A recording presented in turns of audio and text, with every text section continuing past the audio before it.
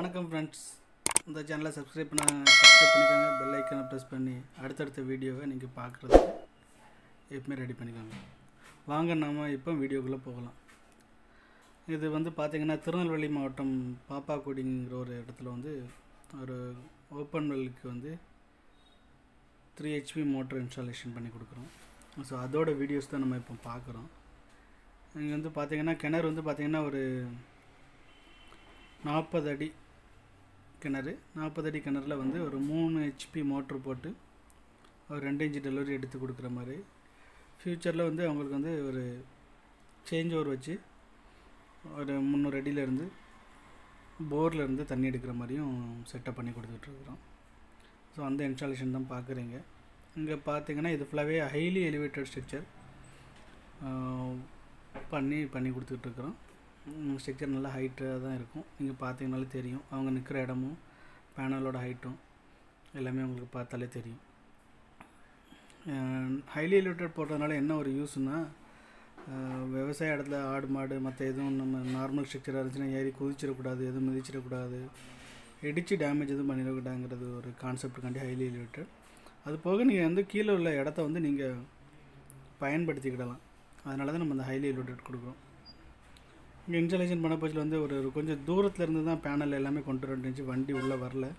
ஏன்னா எல்லா இடத்துலையுமே இப்போ விவசாயம் அங்கே நடந்துக்கிட்டு இருக்குது பாப்பாக்குடி ஃபுல்லாகவே ஆற்று பாசனம் நடந்துக்கிட்டு இருக்குது நெல் பயிர் போட்டிருந்தாங்க. ஸோ பேனல்லாம் கொஞ்சம் தூரமாக வெளியே இருந்து தான் ஒரு ஒரு கிலோமீட்டர் இருக்கும். ஒரு கிலோமீட்டர் இருந்து தான் நம்ம பேனல் எல்லாமே தூக்கி கொண்டு வந்துக்கிட்டு இருந்தோம்.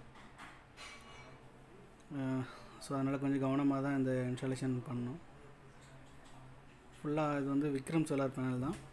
பாலி பேனல் போட்டு இந்த மூணு ஹெச்பிக்கு உடைய செட்டப் ரெடி பண்ணி கொடுத்துரும் பக்கத்துலேயே ஒரு பில்டிங் வேறு இருந்துச்சு அவங்களோட ரூமு ஸோ அந்த நிழலும் இதில் பற்றக்கூடாது. அதுக்காண்டி தான் என்னென்னா கொஞ்சம் ஹைலியாக எடுத்து காமிச்சோம். அப்போ அவங்க பார்த்தீங்கன்னா இப்போ இந்த பில்டிங்கோட நிழல் இதில் படாத அளவுக்கு நல்ல உயரமாகவே இருக்கும் இது உயரமாக இருக்கிறதோட பெனிஃபிட் என்ன? திருப்பி இதுக்கு கீழேயுமே அவங்க ஏதாவது பொருட்கள் எதாவது வச்சுக்கிடலாம் உட்காந்துக்கிடலாம் நன்னெல்லாவும் இருக்கும். பக்கத்தில் ஏதாவது மரங்கராக இருந்தாலும் நார்மல் ஹைட்டில் இருந்துச்சுன்னா டக்குன்னு மரம் செடி வந்து நிழல் பட்டுரும். கொஞ்சம் உயரமாக இருந்துச்சுன்னா நிழல் வந்து நம்ம சோலார் பேனலை எதுவும் பாதிக்காது. மோஸ்ட்லி வந்து சோலார் பேனலுக்கு வந்து நல்ல வெயில் அடிச்சிருந்தாலே உங்களுக்கு வந்து ரொம்ப யூஸ்ஃபுல்லாக இருக்கும். ஏன்னா நம்மளுக்கு சோலார் வந்து முழுக்க முழுக்க வெயில்னால் இயங்குது. ஸோ அந்த இடத்துல வந்து நீங்கள் வந்து பேனல் வந்து நிழலாக இருந்துச்சுன்னு வச்சுக்கோங்க. அது வந்து உங்களுக்கு வந்து பெரிய பாதிப்பை ஏற்படுத்தும். ஏன்னா நம்மளுக்கு காலையிலேருந்து சாயங்காலம் வரும் மோட்ரு ஓடுறதுக்கு வந்து நல்ல வெயில் தேவை.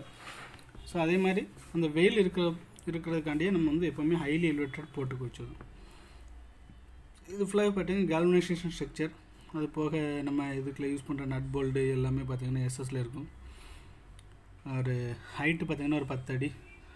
ஒன் சைடு ஒம்பது அடி பத்து அடி கிட்ட வந்துடும் ஒன் சைடு ஒரு ஆறு டு ஏழு அடி வந்துடும் இங்கே அவங்க வந்து ஆயில் மோட்டர் வச்சு தான் யூஸ் பண்ணிக்கிட்டு இருந்தாங்க. ஆயில் மோட்டரை எடுத்துகிட்டு ஏன்னா ஒரு இன்றைக்கி ஆயில் விற்கிற விலை பார்த்திங்கன்னா தொண்ணூற்றி ரெண்டு ரூபா வந்துட்டு டீசல்லாம் தொண்ணூற்றி ரெண்டு ரூபா தொண்ணூற்றி மூணு ரூபா வந்துட்டு அப்போ அவ்வளோ ஆயில் வச்சு நம்ம யூஸ் பண்ணி விவசாயம் பார்த்தோன்னா பெரிய லாபம் எதுவும் இருக்காது. ஸோ ஆயில் மோட்டருக்கு மாற்றாக நம்ம வந்து சோலார் வாட்டர் பம்பை வந்து ப்ரொமோட் பண்ணி கொடுத்துட்ருக்குறோம் நம்மளோட மேக்ஸிமம் சைட் எல்லாமே இந்த ஆயில் மோட்டரை ரீப்ளேஸ் பண்ணி ஒரு ஏன்னா ஆயில் மோட்ரு பார்த்திங்கன்னா ஒரு நாற்பது அடி ஐம்பது அடி அந்த ரேஞ்சிலேருந்து எடுத்துக்கிட்டு இருப்பாங்க. ஆற்று பாசனம் இல்லைன்னா பக்கத்தில் ஏரி அப்படி இருக்கும்.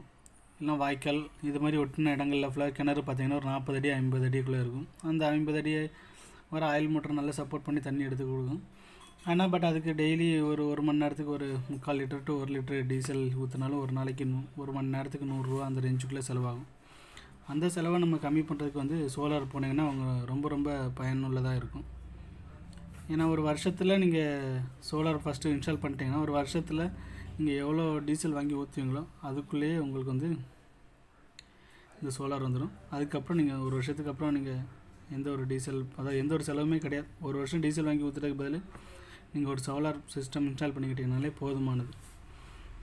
உங்களுக்கு வந்து இப்போ சோலார் போடுறதுனால இன்னும் இதில் இன்னும் கொஞ்சம் லாபம் கிடைக்கும். ஆல்ரெடி நீங்கள் எடுத்துக்கிட்டு இருந்த லாபத்தோட கொஞ்சம் அதிகப்படியான லாபம் தான் கிடச்சிக்கிட்டு இருக்கும். இந்த கிணறும் அதேமாதிரி நாற்பது அடி கிணறு. இது வந்து மஹேந்திரா பம்பு போட்டு மஹேந்திரா பம்பு போட்டு இது இன்ஸ்டால் பண்ணி கொடுத்தோம். இது கிணத்துக்குள்ளே இறக்குறாங்க. நீங்கள் பார்த்தீங்கனாலே தெரியும். அந்த கேபிள் பைப்பு எல்லாமே ஒரு நாற்பது அடி நாற்பத்தஞ்சு அடி வரை உள்ளே இறங்குது.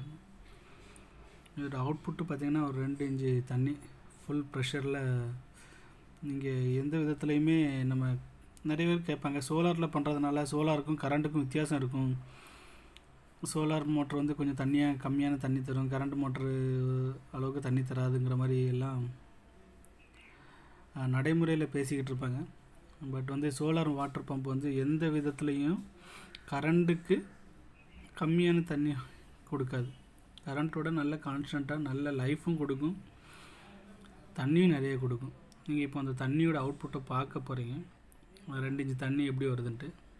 ரெண்டு இன்ச்சு தண்ணி மூணு ஹெச்பியிலேருந்து உங்களுக்கு எத்தனை அடி தூரம் வந்து உழுதுன்னு பாருங்கள் குறைஞ்சது ஒரு ஆறு அடி எட்டு அடி தூரம் தாராளமாக தள்ளி தான் விழும் எட்டு அடி தூரம் உழுது. இதே மாதிரி தான் நீங்கள் கரண்ட்டில் எப்படி இருக்குமோ அதோட அதே மாதிரி தான் இதில் இருக்கும். அது போக என்னென்னா கரண்ட்டில் அடிக்கடி மோட்டர் ரிப்பேர் ஆகும். ஏன்னா லோ வோல்ட் ஹை வோல்ட் அப்படி வர்றதுனால.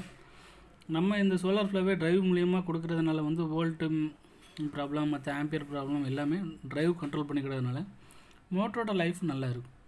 ஸோ உங்களுக்கு வீடியோ பிடிச்சிருந்தா சப்ஸ்கிரைப் அண்ட் லைக் பண்ணிக்கோங்க. அது மாதிரி யாருக்காவது சோலார் மோட்டர் தேவைப்பட்டுனா எங்களை காண்டாக்ட் பண்ணிக்கோங்க. தேங்க்யூ ஃப்ரெண்ட்ஸ் ரொம்ப ரொம்ப நன்றி.